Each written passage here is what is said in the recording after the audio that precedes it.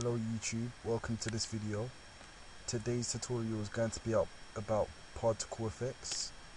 Now if you don't already know, particle effects, what they do is they um they represent natural phenomena that would like occur in the real world. For example, fire, rain, smoke, and things like that. And as you can see in this map, I have utilized particle effects quite a lot really. Like over here for example. This it's fire.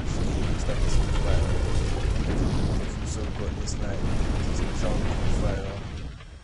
And um, over here this is like a little campfire. And also the smoke as well. That's another particle effect. So that's like a combination of two. And then again here this car is on fire so those three, those are like the most obvious particle effects. But I've also used some for the waterfall. So if I was just to like turn off the main,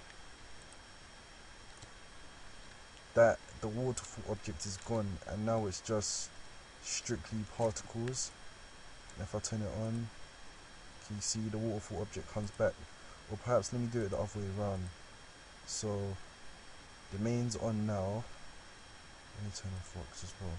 The main is on now, and there's no particle effects.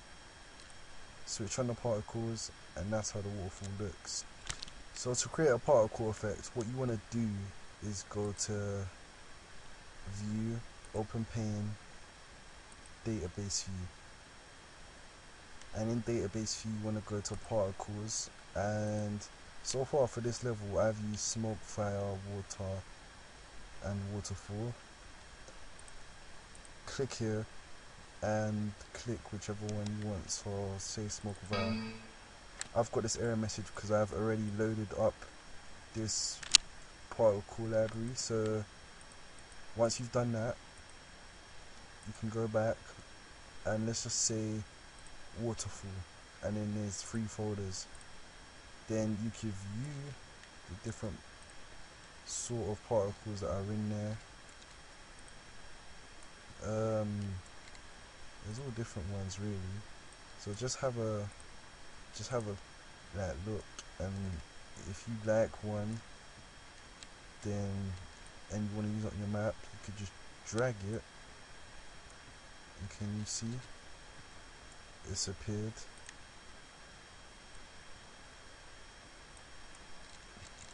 look there we have a particle effect. And that's really all there is to it. You can change the the properties if you wanted to. There's like the count like how rapid it looks. And um, yeah. Like for this waterfall can you notice there's a there's a spray sort of thing? Like there's a spray over here. So if I was let me close this a second if I was to turn off the particle layer notice how that spray goes? The spray goes. And um, there's also like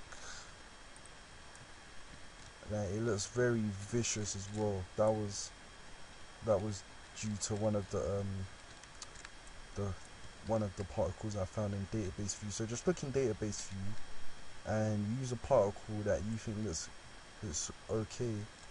And then like also don't forget don't forget to um hold on where is it? Don't forget to name your particle. I haven't done that but it is best to name your particles because they're all the same. I can't tell the difference between any of them. So you can name your particles and probably be wise to assign them to a layer as well. And that's all there is to your particle effects really. So thank you for watching